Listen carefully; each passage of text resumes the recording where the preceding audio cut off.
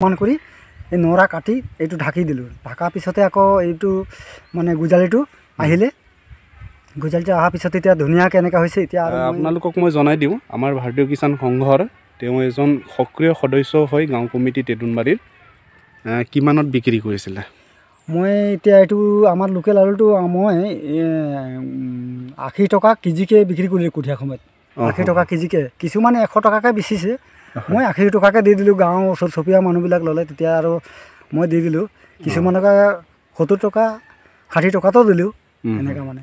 নমস্কাৰ বন্ধুসকল সকলোকে স্বাগত জনাইছোঁ। নতুন এক ভিডিঅ'ৰ মাজলৈ আশা কৰিছোঁ আপোনালোকে সকলোৱে ভালে আছে। তো বন্ধুসকল আজি আপোনালোকক বৈজ্ঞানিক পদ্ধতিৰ দ্বাৰা আমি কেনেধৰণৰ আলু খেতি কৰিব পাৰোঁ সেই বিষয়ে আজি আপোনালোকক জনাবলৈ কাৰণে বা দেখাবলৈ কাৰণে চেষ্টা কৰিম। তো আপোনালোকে সম্পূৰ্ণ ভিডিঅ' চাই থাকিব। আৰু ভিডিঅ'টি ভাল পালে নিশ্চয় লাইক কৰিব আৰু আপোনালোকৰ মতামতটি প্লিজ কমেণ্ট কৰি জনাব। আৰু মই এনেধৰণৰ ভিডিঅ' আনি থাকোঁ। আপুনি যদি এতিয়ালৈকে চেনেলটি ছাবস্ক্ৰাইব কৰি লোৱা নাই প্লিজ চেনেলটি নিশ্চয় ছাবস্ক্ৰাইব কৰি পেলাই নটিফিকেশ্যন বেলটি অলপচন নিশ্চয় চিলেকশ্যন কৰক যাতে মই ভিডিঅ' আপলোড কৰাৰ লগে লগে আপুনি প্ৰথমতে চাবলৈ পায়। আৰু যিসকলে ইতিমধ্যে চেনেলটি ছাবস্ক্ৰাইব কৰি ৰাখিছে তেওঁলোকক বহু বহুত ধন্যবাদ। তো আহক আজিৰ এই ভিডিঅ'টো আৰম্ভ কৰোঁ। ভিডিঅ' আৰম্ভ কৰাৰ আগতে আমি চিনাকি হ'ব বিচাৰিছোঁ আমাৰ দাদাৰ লগত। মানে যিজনে এনেধৰণৰ খেতি কৰিছে তো আলু খেতি কৰা যিজন আমাৰ দাদা হয় তেওঁৰ লগত আমি চিনাকি হৈ লওঁ। হয় আপোনাৰ নামটো কৈ দিয়ক। মোৰ নামটো হ'ল প্ৰদীপ। হয়। প্ৰদীপ এক্কা। হয়। টেটনবাৰী আমাৰ টেটনবাৰী এইটো গাঁও টেটনবাৰী অঁ। আপুনি কিমান দিনৰ পৰা আপুনি খেতি বাতি কিমান দিন বছৰৰ পৰা আপুনি খেতি বাতিৰ লগত জড়িত হৈ আছে? মই এতিয়া বৰ্তমান মই এতিয়া পাঁচ বছৰ ছয় বছৰলৈকে এতিয়া এইবিলাক কৰিয়ে থাকোঁ আৰু মানে। প্ৰায় পাঁচ ছয় বছৰ হৈ গ'ল নহয় জানো? আপুনি। খেতি বাতিৰ লগত জড়িত হৈ থকা। তো বন্ধুসকল আপোনালোকক মই জনাই দিওঁ আমাৰ ভাৰতীয় কিষাণ সংঘৰ তেওঁ এজন সক্ৰিয় সদস্য হৈ গাঁও কমিটি টেটুনবাৰীৰ তো গতিকে আহক আজি তেওঁৰ যিটো ধৰি লওক তেওঁৰ পদ্ধতি তেওঁ কি ধৰণৰ মানে আলু খেতি কৰিছে তো সেই কথাটো আজি আপোনালোকক জনাবলৈ কাৰণে চেষ্টা কৰিম। আপুনি কিমান বিঘা আলু খেতি কৰিছে ইয়াতে? মই এতিয়া দহ বিঘা কৰিছোঁ মানে খেতি মই হয়। আপুনি। আলুটো যিটো আপুনি খেতি কৰিছে আপুনি কি আলুৰ জাতটো কি হয়? আলু জাতটো আমি বুলি কওঁ যে এইটো আমাৰ লোকেল গুটি আলু হয়। গুটি আলু হয় গুটি আলুটো মানে আমি যত্নকৈ মানে আমি নিজে থওঁ এই কিবা চাং পাতি থওঁ। আপুনি নিজে কঠীয়া ৰাখে। কঠীয়া ৰাখোঁ মই। অঁ কঠীয়া ৰাখি এইটো আৰু যেতিয়া ছিজন হৈ যায় তেতিয়া আমি যিমান মাটি ওলাই থকাটো আমি ৰুই আকৌ বাচাখিনি আকৌ বেছি দিওঁ মানে।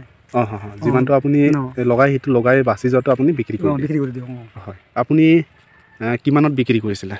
মই এতিয়া এইটো আমাৰ লোকেল আলুটো মই আশী টকা কেজিকৈ বিক্ৰী কৰিলোঁ কঠীয়া সময়ত। আশী টকা কেজিকৈ। কিছুমানে এশ টকাকৈ বেচিছে। মই আশী টকাকৈ দি দিলোঁ গাঁৱৰ ওচৰ চুবুৰীয়া মানুহবিলাক ল'লে তেতিয়া আৰু মই দি দিলোঁ। কিছুমানকে সত্তৰ টকা ষাঠি টকাতো দিলোঁ এনেকৈ মানে। আপুনি খুব কম দামতে বিক্ৰী কৰে। আপুনি এতিয়া আলু যিটো আপুনি খেতি কৰিছে আপুনি এইটো কোনটো ছিজনত সাধাৰণতে লগায়? যিটো আমাৰ থলুৱা যিটো আলু হয় কোনটো ছিজনত লগালে বেছি ভাল হয়? অক্টোবৰ প্ৰথম। তাত ষ্টাৰ্ট কৰিছোঁ মানে ৰোৱাটো অক্টোবৰ। প্ৰথম সপ্তাহত। আপুনি লগাইছে। আপোনাৰ মাটি আপুনি কেনেধৰণৰ প্ৰস্তুতিটো কৰিলে মাটিৰ যিটো আপুনি তৈয়াৰ কৰিছে অঁ কেনেকুৱাকৈ লগ কৰিছে কমেও দহ বাৰ চাহমান হালধি মাৰিলোঁ হালধি মৰাৰ পিছতে আৰু মই এইটো লাইন পাতি লগালোঁ লগোৱাৰ। পিছতে লাইন পাতি লগালোঁ কিবা এক বেডত ছয়টা লাইন কৰিলোঁ ছয়টা লাইন কৰাৰ পিছতে এক ফুলৰ জেগা এৰি সেইফালে সেইফালে মাটিবিলাক ভগাই দিলোঁ ভগাই দিয়াৰ পিছতে ভগাই দিয়াৰ পিছতে তাৰপিছত মানে একদম ধুনীয়াকৈ সমান কৰি এই নৰা কাটি এইটো ঢাকি দিলোঁ। ঢাকাৰ পিছতে আকৌ এইটো মানে গোজালিটো আহিলে। গোজালিটো অহাৰ পিছত এতিয়া ধুনীয়াকৈ এনেকুৱা হৈছে। এতিয়া আৰু মই ঔষধ মানে ব্যৱহাৰ কৰিম কি আৰু পানী চানী যোগান নাই। মোৰ ইয়াত পানী চানী যোগান নাই। যি মানে ওপৰৰ নিয়ৰ পানীবিলাক পৰে বা বৰষুণ আহে সেইটো দি মোৰ মানে হেৰি হয়। আৰু তেনেকুৱা ব্যৱস্থাটো নাই নহ'লে আৰু ভাল হ'লে হয়। আপুনি মানে চৰকাৰ ফালৰ পৰা কোনো ধৰণৰ এতিয়ালৈকে স্কিম পোৱা নাই তেনেকৈ পানী। যোগানৰ ব্যৱস্থাটো আপোনাৰ নাই? নাই নাই। আপুনি কিবা ইয়াৰ ক্ষেত্ৰত আপুনি ধৰি লওক ডিপাৰ্টমেণ্টৰ মানুহৰ লগত মানে ধৰি লওক এগ্ৰিকালচাৰ ডিপাৰ্টমেণ্টৰ মানুহৰ লগত আপুনি কিবা যোগাযোগ কৰিছিল নেকি? তেনেকুৱাতো যোগাযোগ কৰা নাই বাৰু মই। যে বৰ্তমান কৰি আছোঁ যি পাৰিছোঁ এইটো। হয়। আপোনাৰ এই ইয়াতে যেতিয়া আপুনি লগালে আলু তেতিয়া আপুনি ইয়াত কিবা সাৰ প্ৰয়োগ কৰিছে নেকি? কি সাৰ প্ৰয়োগ কৰিছে? সাৰ মই মানে এই কিবা মই কিবা ব্ৰইলাৰৰ ব্ৰইলাৰৰ এইটো কিবা ভুচিটো যে লেটিং কৰি থাকে সেইটো ভুচিটো দিছোঁ। কমেও চল্লিছ বেগমান ইয়াত পেলালোঁ। তাৰপিছতে ডেৰ ট্ৰেক্টৰমান গোবৰ পেলাইছোঁ আৰু একো পেলোৱা নাই মই। ইমানেই ব্যৱহাৰ আৰু এতিয়া গছটো উঠি অহাতে মই মানে এণ্ডপিলটো মাৰিম।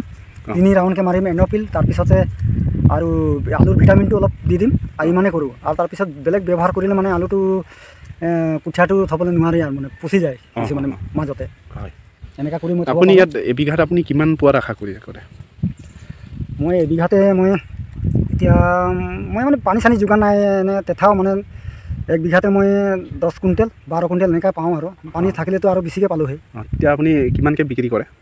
বিক্ৰী কৰাটো মই প্ৰথমত যেতিয়া আলু ওলাওঁতে মই ত্ৰিছ টকাকৈ দিওঁ তাৰপিছতে আৰু চল্লিছ টকা বা খোৱা পঞ্চাছ টকালৈকে বেচোঁ খোৱাটো। তাৰপিছতে আৰু কঠীয়া ছিজনতো মোৰ এশ টকা বা আশী টকা সত্তৰ টকা এনেকুৱাকৈ বেচোঁ। হয় হয়। ঠিকে আছে। ইয়াত আপুনি যিটো এটা মই নতুন এটা পদ্ধতি মই আপোনাৰ পৰা দেখিলোঁ। যিটো নাৰা দিছে মানে এইটো আপোনাৰ নাৰাটো আপুনি কিহৰ কাৰণে দিছে? সেইটো মানে মই দিছোঁ মাটিটো কোমল থাকিব তলত। তাৰপিছতে আৰু কোমল থাকিব আৰু ৰানিং ৰ'দ নপৰে তাত মাটিত। হয়। দুখ নাপাই মাটিটো মানে এনেকৈ একদম ঢিলা হৈ থাকিব আৰু আলুটো বহিবলৈ ভাল হ'ব।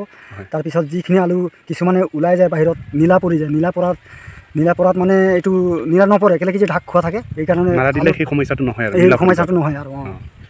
আপুনি যিটো ঢাপ বনাইছে আপুনি ডিষ্টেঞ্চটো কিমানকৈ ৰাখিছে? এইটো এই মাজত নলাটো নলাটোৰ কথা কৈছে। নলাটো যে মই মানে ফুট আছে নলাটো। অঁ। এইটো এইফালে এইফালে মাটিটো পেলাই দিছোঁ মানে। হয়। আৰু আপুনি কিমান ডিষ্টেঞ্চত আপুনি লগাইছে আলু গুটিটো? আলুটো মই এইটো ডাঙৰ চাইজ হ'লে ডাঙৰ চাইজ হ'লে মানে ছয় ইঞ্চি ছয় ইঞ্চিত লগাইছোঁ। আৰু এইটোও ছয় ইঞ্চি হ'ব। বলটো এই মানে এনেকৈ কৰি ছয় ভিটিত ছয়টা লাইনত মই মানে ছয়টা লাইন লগাইছোঁ মানে এনেকৈ ছয় ইঞ্চিকৈ। সেইফালে ছয় ইঞ্চি সেইফালে ছয় ইঞ্চিকৈ হ'ব। আৰু অলপ যদি সৰু গুটিটো হয় যদি অলপ ওচৰত কৰি দিওঁ। এতিয়া এইটো আপুনি কিমান দিনৰ মূৰত আপুনি আলুটো উঠাব পাৰিব? এতিয়াতো মানে কেনেকুৱা ছিজনটো যদি ভালে থাকে ভালে হেৰি হয় যদি গছ নমৰালৈকে গছ মৰাৰ পিছতহে উঠাম মই এইটো আৰু। মিনিমাম ধৰি লওক তিনিমাহ তিনিমাহ হয় অঁ। তিনিমাহমান লাগে আৰু। লাগে। হয় বন্ধুসকল আপোনালোকে নিশ্চয় ভিডিঅ'টি চোৱাৰ পিছত আমি যিটো ধৰি লওক আমাৰ থলুৱা যিটো আলু আমি কেনেধৰণৰ এক বৈজ্ঞানিক পদ্ধতিৰ দ্বাৰা আৰু লগতে আমি এক জৈৱিক পদ্ধতিৰ দ্বাৰা কেনেধৰণৰ আমি খেতি কৰিব পাৰোঁ সেই বিষয়ে নিশ্চয় আপোনালোকে জানিব পাৰিলে। তো এইখিনিতে মই আপোনালোকক কওঁ আপুনি যদি ব্যৱসায় ভিত্তিত যদি কৰিবলৈ যায় আমাৰ যিটো থলুৱা যিটো আমি সাধাৰণতে গুটি আলু বুলি কওঁ যিটো ৰংপুৰীয়া তো গতিকে সেই আলু যদি আমি খেতি কৰিবলৈ যাওঁ যিটো আমাক দাদাই কোৱা মতে আপোনাৰ ধৰি লওক ছিজনত তেওঁ যদি বিক্ৰী কৰে খাবলৈ কাৰণে খোৱা আলু হিচাপে তেওঁ কম হ'লেও আপোনাৰ চল্লিছ টকা টু ত্ৰিছ টকাত তেওঁ বিক্ৰী কৰোঁ বুলি কৈ কৈছে। আৰু এবিঘাত প্ৰায় আপোনাৰ ধৰি লওক দহ কুইণ্টেল মানৰ ওচৰা ওচৰি। তেওঁ খুব কম হ'লেও যেনিবা দহ কুইণ্টেল নালাগে আপোনাৰ পাঁচ কুইণ্টেল বুলিও ধৰি লওক। তো গতিকে পাঁচ কুইণ্টেলমান পালেও আপোনাৰ বহুতখিনি টকা আপুনি মানে ধৰি লওক আপুনি ব্যৱসায় ভিত্তিত যদি কৰিবলৈ যায় খুব ধুনীয়া এটা ইনকাম আপুনি কৰিব পাৰে। কাৰণ আপোনাৰ এক বিঘা আপোনাৰ এক কুইণ্টেলত হৈ গ'ল আপোনাৰ তিনি হাজাৰ টকা। তো গতিকে আপোনাৰ পাঁচ কুইণ্টেলত হৈ গ'ল আপোনাৰ পোন্ধৰ হাজাৰ টকা। তো গতিকে আৰু আপুনি যদি সেইটোকে আপুনি যদি ৰাখি থৈ আপুনি কঠীয়া হিচাপে বিক্ৰী কৰে তেতিয়া কম হ'লেও আশীটো এশ বিছৰলৈকে আপোনাৰ বিক্ৰী হয় বুলি কৈছে। তো সেই হিচাপত আপুনি যিটো কঠীয়া হিচাপতো যদি আপুনি ৰাখি পেলাই বিক্ৰী কৰিব পাৰে তাতো এটা ভাল এটা আপুনি ইনকাম কৰিব পাৰে। তো গতিকে আপোনালোকে কেনেধৰণৰ পালে এই ভিডিঅ'টি চাই পেলা নিশ্চয় কমেণ্ট কৰিব। যিসকলে চেনেলটি ছাবস্ক্ৰাইব কৰি লোৱা নাই তেওঁলোকে প্লিজ ছাবস্ক্ৰাইব কৰি লওক আৰু এনেধৰণৰ মই ভিডিঅ' আনি থাকোঁ তেতিয়া আপোনালোকে চাই থাকিব পাৰিব। আজিলৈ ইমানেই ধন্যবাদ।